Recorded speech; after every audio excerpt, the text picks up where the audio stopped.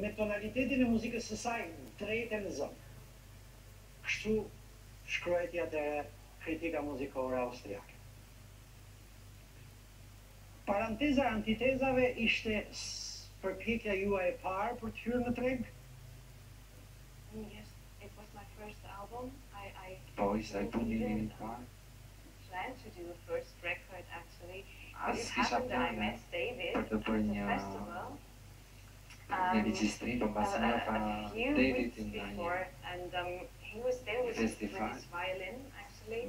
And he said, um, oh, I'm going to join you on stage. you know, ah, you music, um, you come play with me. So he just went up, took his violin and played to my music while I was performing my songs that I had written so far.